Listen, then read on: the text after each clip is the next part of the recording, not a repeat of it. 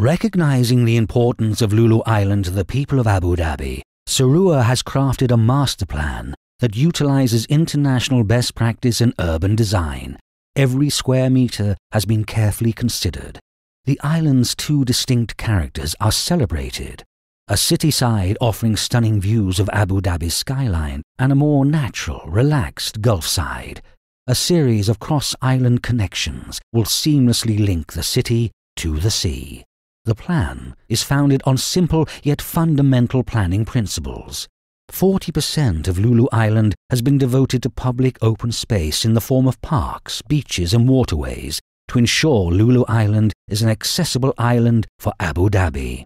There is over 30 kilometers of water edge, including 5 kilometers of beaches. 70% over 20 kilometers of the water edge will be publicly accessible. Lulu Island's topography has been subtly sculpted to promote water views. The iconic red sand dunes are retained to form a major open space feature. Open space creates visual corridors and dramatic views around the island. Importantly, the majority of buildings on Lulu Island will be less than three stories, preserving views of the Gulf from Abu Dhabi City. Water edges allow prevailing winds to be captured, with the cooling breezes channeled up and through the open space and into the island, making Lulu Island a cooler and more livable place. The structure plan demonstrates how the island comes together. Two vehicular bridges and three vehicular tunnels connect Lulu Island to Abu Dhabi. A logical and efficient road layout will center on Lulu Boulevard as the main link across the island, while a series of secondary roads, streets and lanes will provide access into the neighborhoods.